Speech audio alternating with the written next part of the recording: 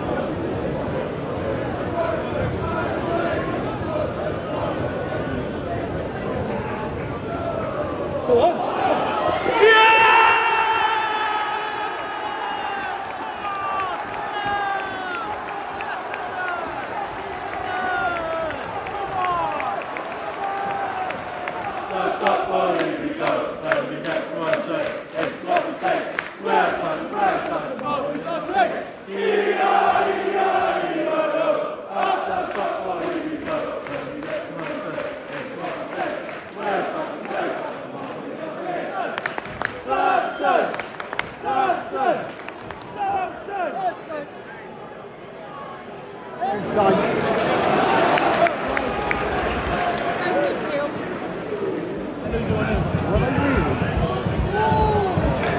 on, Saints, out!